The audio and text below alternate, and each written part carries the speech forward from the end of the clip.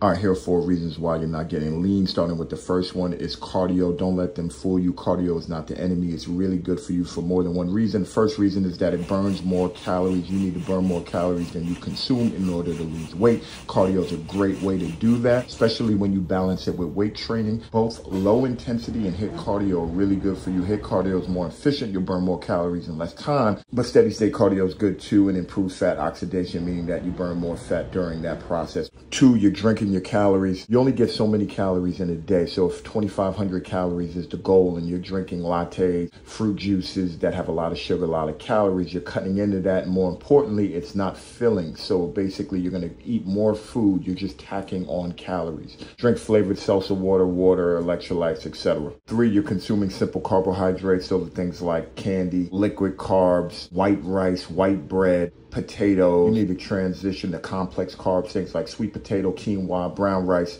whole wheat. These are things that help you feel more satisfied longer. Or you're just not training hard enough. I see you guys in the gym all the time. You're barely cracking a sweat. This stuff is hard. If you want to look good, you got to put in the work.